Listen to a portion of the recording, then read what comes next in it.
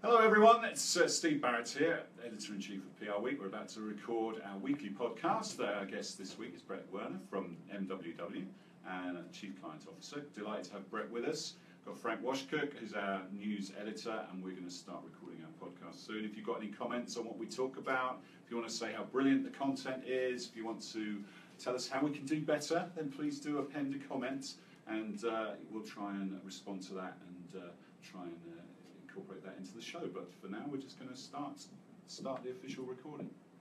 Guys, thanks for having me. I appreciate it. It's a pleasure, Bret. Always a pleasure to have you on board. Hello and welcome to the PR Week, PR Week's regular weekly roundup of everything that matters in the world of PR and communications. My name's Steve Barrett, I'm the editor in chief of PR Week. Guide you through the next 20, 25 minutes as we pick up on topical issues with our news editor Frank Washkuch. Hey, Frank. Good to be here, Steve. Yes, it is. And um, how was election week without me? Oh, was very hectic. A few surprises, you might say. Yeah, there, there was a bit of stuff going on. I've been on vacation in Europe, so I uh, had an interesting take on it. And our special guest this week, Bret Werner from MWW. Bret, how are you? I'm doing great. Thank you for having me. Chief Client Officer. Yes. It still seems a bit odd not saying Bret from Catalyst, but you've been at MWW for a little while. Just right? about a year Yeah, now. it's So, a year. um, yes, it's been a, a great um, new role for me. My, my third chapter in the industry, and uh, great to be uh, with a very strong independent agency that has a diverse set of offerings. And, and for me, I've always felt the foundation of building an agency starts with great clients and doing great work, and that leads to organic growth. And we've done a great job of that this year. Good. Well, we'll get into that a bit more, and we're also going to pick up on reflections on the election, obviously. We'll talk about the New Balance controversy. They decided to get involved in it, and suffered some reputational issues there. We'll talk about fake news. How big an impact did that have, and, and what are the implications for PR pros, and also Facebook's metrics. They've come under scrutiny. And we'll talk about the NFL. The ratings have been falling this season, so what, what does that say about the sport moving forward? So uh, let's start with, you, Bret. So yeah, you, you went through that whole process with Catalyst where you were involved right from the start, from sort of founding it through to selling it. Um, what, what would you learn? What did you learn from that? What, and what would you, did you take out of that into your next role? What were the big things you took out of it? Because that's a, an experience a lot of people are going through in some stage, isn't it? They're either in a startup where they, they aspire to do what you did, they're trying to grow their business to a stage where it might be attractive for sale, or they're then sort of doing that whole burnout or, or finishing up process? What, what would you sort of reflect on that looking back? Sure. So there are a lot of key learnings on there. I mean, I think we were fortunate that we formulated an agency that had a tip of the spear, that was a subject matter expert on something. Uh, we also were an independent agency, so we're able to grow at our own pace, to reinvest into the business, and, and luckily we worked with great brands. We did good work and evolved over time. Uh, found a partner that we felt could further evolve uh, our business, and we're fortunate to be part of the IMG and William Morris family. So it was a great 11-year run from, from start to finish, but great clients and great talents have a lot of problems. Yeah, you must have had people sniffing around the agency uh, all the time, especially in the PR sphere. So what was it that made you choose a, a group like IMG, which obviously sort of match up on the sports and entertainment front? Sure, and, and ultimately things were moving and evolving so quickly. The the exit strategy was was never a huge focal point. It was just about growing the business and evolving. But at some point in your lifestyle, you realize there has to be an investment of capital or a partnership to further evolve, and that uh, is inevitable. So uh, you need to determine if you want to grow what decisions you make in that process. But there were a lot of key learnings. It was an, an incredible run, an incredible experience, and like I said, uh, a chapter that I always look favorably upon. And uh, we were fortunate to uh, have a great run with some great people, take home some hardware from you guys along the way. And uh, that's right. Uh, yeah. but again, we, we had a tip of the spear at that agency, and I think a smaller shop needs that to succeed. And then once you'd finished that chapter, you probably had a lot of offers. I think I know that you did actually, or a lot of potential opportunities. What was it that made you choose the MWW uh, option? Um, I really think that there's so much opportunity in our industry, and I've always gravitated to those um, sort of independent agencies, or if they're not independent, independent-minded agencies, because I think in a changing landscape, that's vital right now. Uh, I also felt like I was intrigued that sort of while I come from a consumer background, the consumer, the corporate, the public affairs, that's really blending together now and how people make decisions on what brands they buy or where they go in the world is influenced by a lot of different factors. So I was looking for a firm with sort of multifaceted offerings. And when you sort of put the equation of like-minded, independent, a lot of diverse offerings, the universe gets a lot smaller quickly. And I've had a lot of respect for Michael. I'd known him for some time, uh, and have really enjoyed my 11 months there with him. Yeah, that's Michael Kempner, the CEO, and he um, actually he had the experience of being part of a holding company at IPG and then buying the agency out of that. So do you think they will stay independent for the foreseeable now, or would, they, I- they ever go back into you know a, holding company?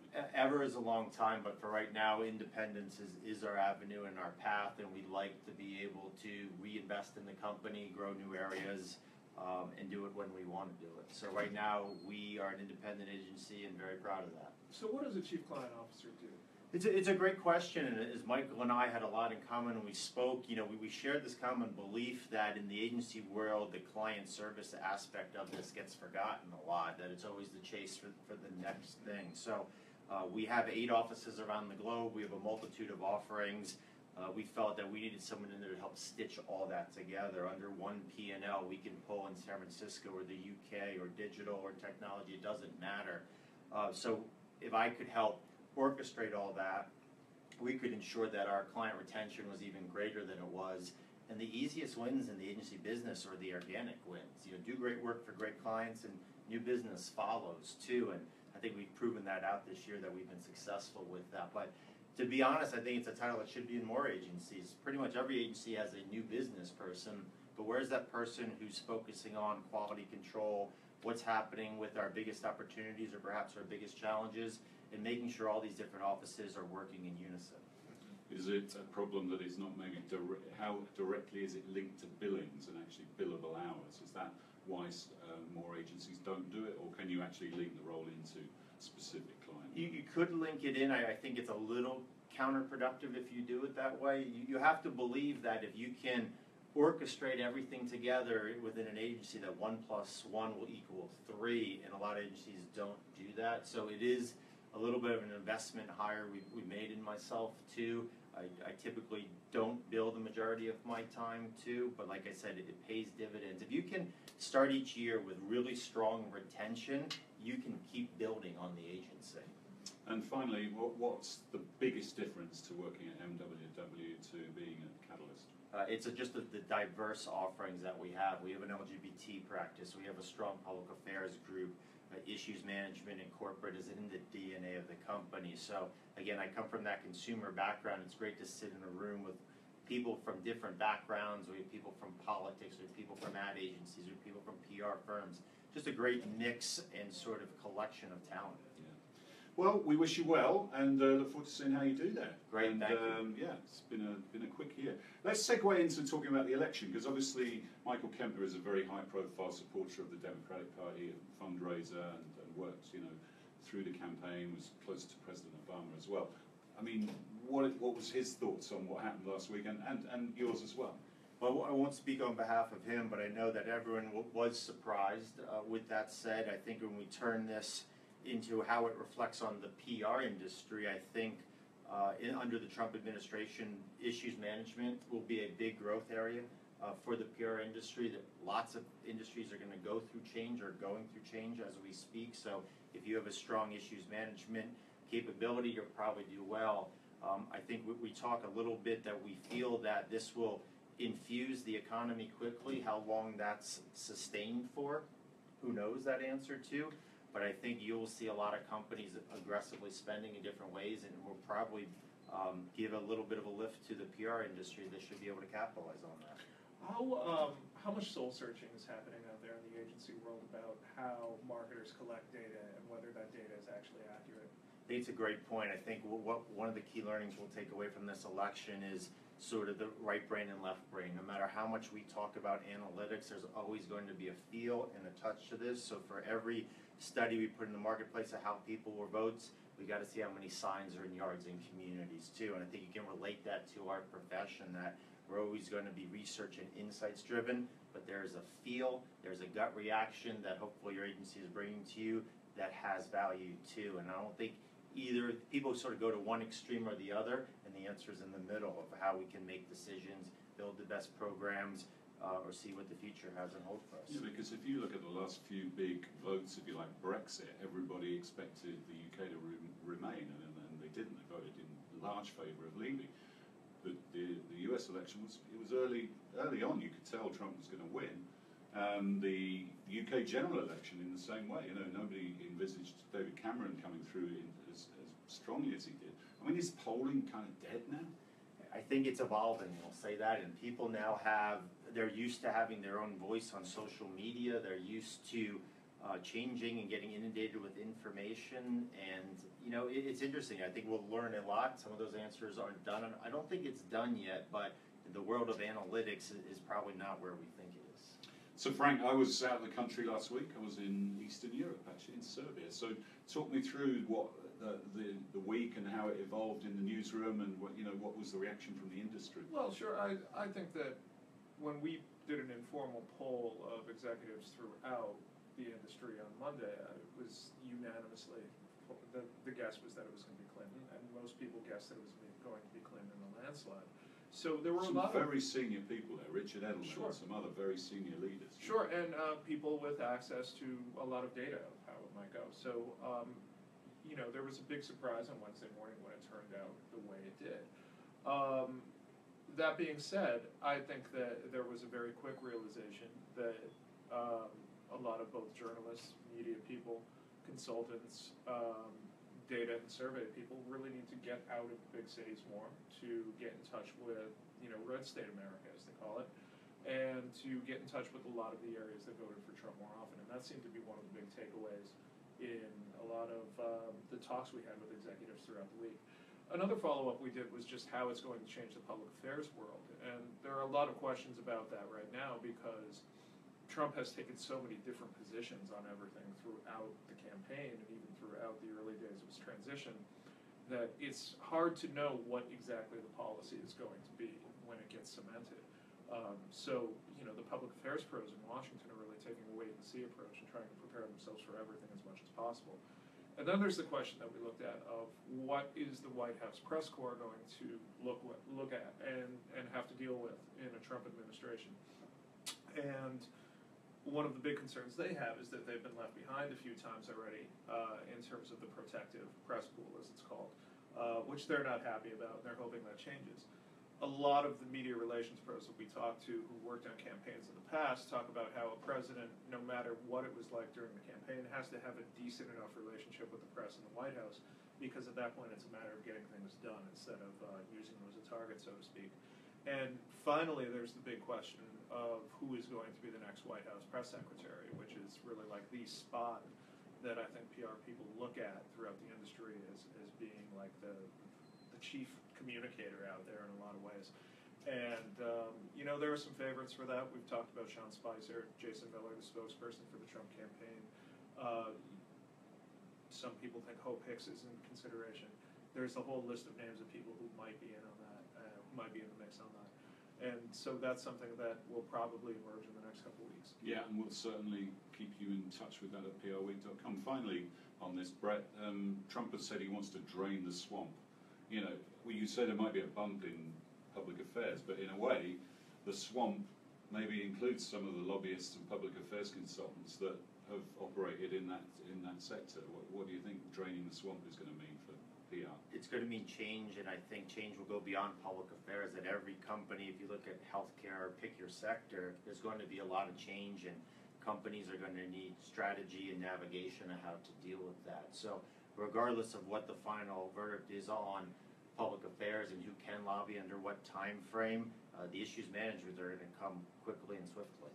Do you think that if there is a lobbying ban, Mhm. say there is, and, and, a, and a real lobbying ban on public officials, say for five years, do you think PR firms actually benefit from that because these folks need to work someplace and might as well be at an agency? It's possible. I think when, when we talk about banning, again, the, the devil is going to be in the detail. What does that mean? Does that mean I can still consult? I just can't lobby? So when we talk about that from a macro standpoint, there's so much detail that needs to come out. But yeah, Could the agency world be engulfing some of these people? Absolutely. I mean, anytime there's a political change in the White House, there's a lot of people out there looking for their next job. All right, so another election-related story: New Balance um, footwear brand got involved in, in terms of sort of endorsing Trump in a certain way, and really have taken a lot of heat for that, especially on social media. Bret, what, what what's the lesson there? I mean, i- should brands get involved in the political process? You know, we've seen brands in the past like Starbucks and, and Apple and others, you know, get involved and make statements and, and do do things with, you know, from a political standpoint. What, what you, what's your take on that in light of the New Balance uh, scenario? I, I think it's a very delicate line they're walking and, and uh, endorsing a, any candidate for that matter who, when the popular vote is hovering around fifty percent. I mean, I think New Balance has a very interesting story. They do make shoes in America. They have five factories.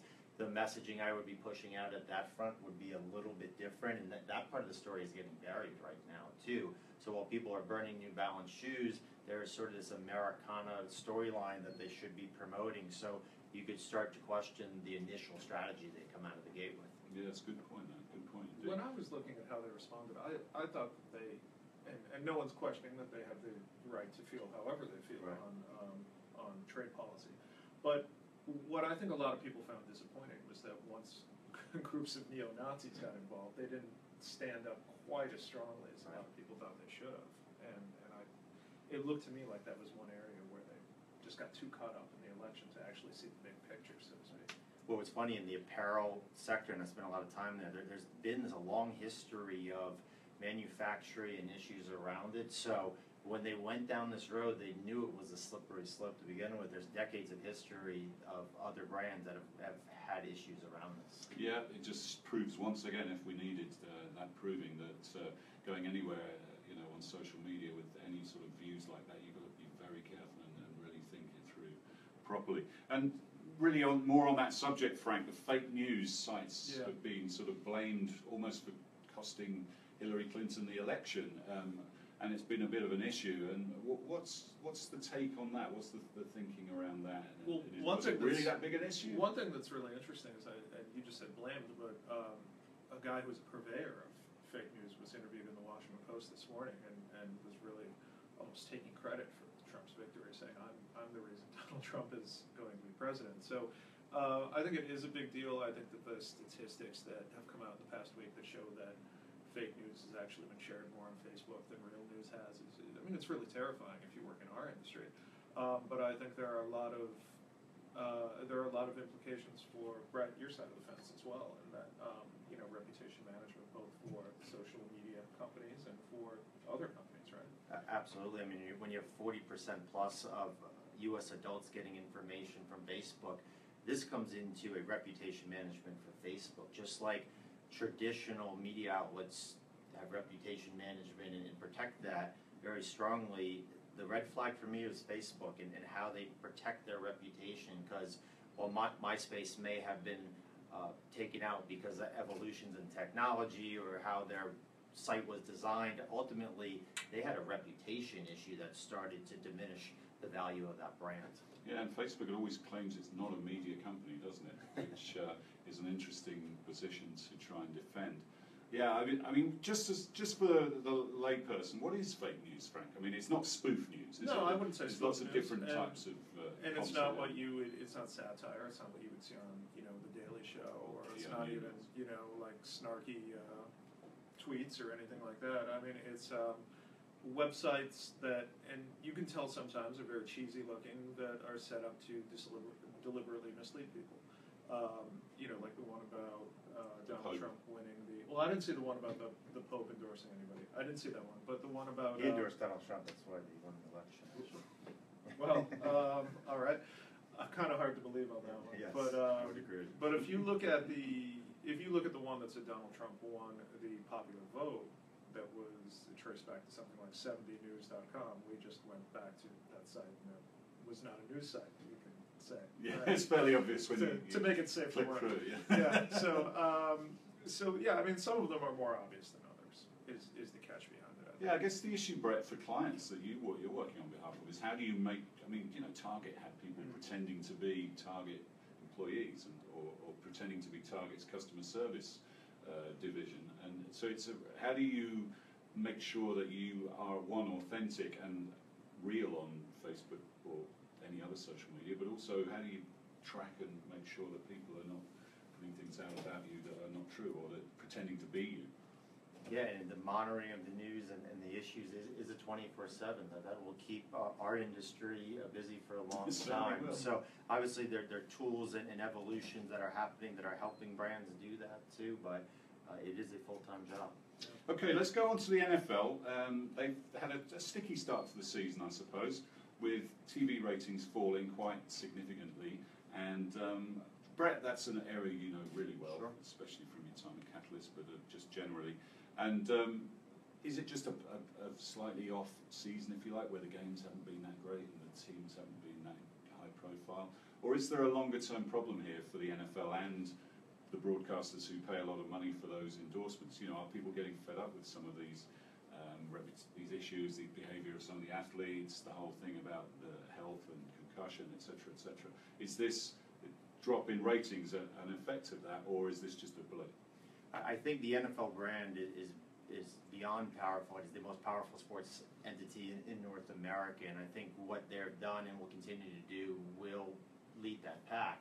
I think there's a gravitational pull in everything we do, so the ratings can only go up for so long until there's a pull. Now, they've had some wind in their face in terms of a lot of news, obviously, we just talked about that, so they're competing with that just like everyone else. But I do think what they will probably need to look at is there's a law of diminishing return, and when you add games on Thursday and Sunday morning when they're in other countries, and then you still have your your one o'clock, your four o'clock Easterns, and your Monday night game, eventually there's a law of diminishing return, and I think some of the play, especially on Thursday night, maybe not have met the standards that they're accustomed to.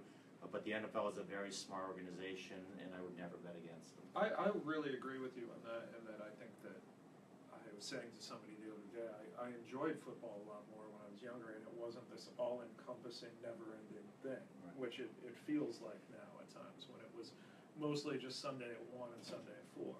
You know, um, but I think that if you look at the Thursday night games, a lot of them have been really bad and really sloppy games because I mean, if you know if you know the rhythm that football's supposed to be played and practiced in, where you know you have your rest days and then Wednesday, Thursday, and Friday are your heavy practice days, you're talking about only letting teams practice once once a week, and it shows when they go and they play Thursday night without all that practice time. Yeah, it's a big part of the game, isn't it? So soccer's not going to take over yet. Not quite yet. But Premier League ratings were down this year too, Okay. at least here.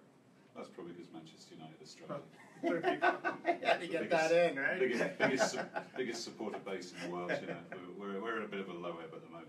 All right, listen, Bret. Thank you for joining us. It's been Thank great you, fun guys. to catch up with appreciate you. it. Thank you, Frank. Um, if you were uh, watching, uh, listening to us, uh, don't forget our Hall of Fame dinner, which takes place on December the fifth in New York City. Come and celebrate the industry. Come and celebrate all the uh, some of the great legends of the industry. And do make sure you are getting working on your brand film festival entries. That those are out uh, for submissions at the moment, and that's a great uh, initiative that we've now expanded globally. So we've got Brand Film Festival New York and Brand Film Festival London, both out for submissions now. But that's all we've got time for. We'll see you next time on the PR Week.